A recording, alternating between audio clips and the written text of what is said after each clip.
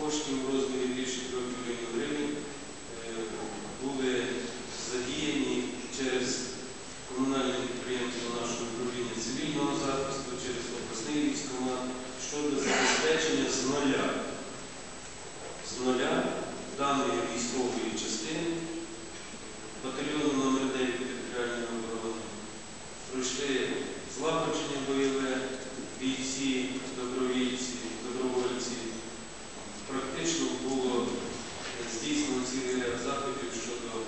формування цього батальйону. І сьогодні він під під- підпорядкуванням Генерального штабу Збройних сил України діє на сході нашої держави. Є проблеми по забезпеченню бронежилетами, як в цілому Збройних сил України. Така ситуація склалася в цілому в державі. Не готова держава була до забезпечення Збройних сил і не готова до сьогодні. Практично через одне єдине